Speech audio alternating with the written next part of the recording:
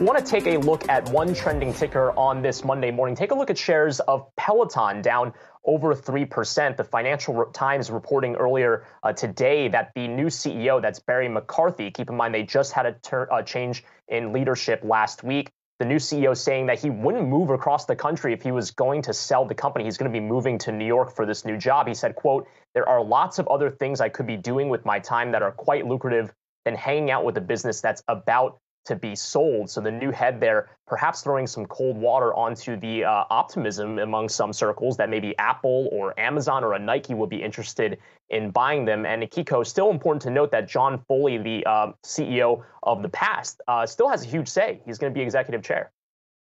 Well, and Barry McCarthy in that interview with the Financial Times makes it pretty clear he's going to continue to turn to him too as they try to get this company back on the right track. You know, those comments coming from him, not entirely a surprise, I would say. Last week, uh, when we he was tapped for the top position, I think a lot of analysts sort of looked at that and said, okay, maybe a sale in the future, but that's not going to happen immediately if they're bringing a big name executive on board. So that seems to jive with the comments that he's putting out there. Having said that, um, you know, don't expect him to necessarily disclose a sale to the FT in an interview.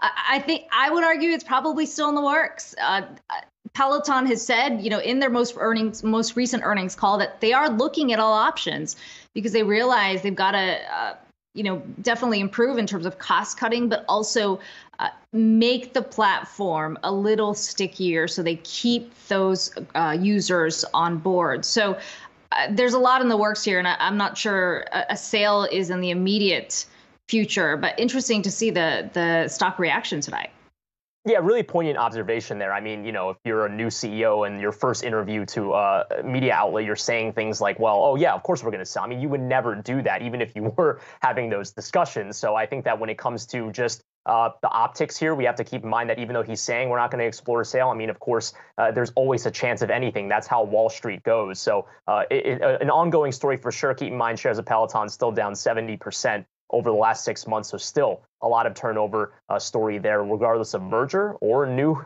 uh, turn in leadership.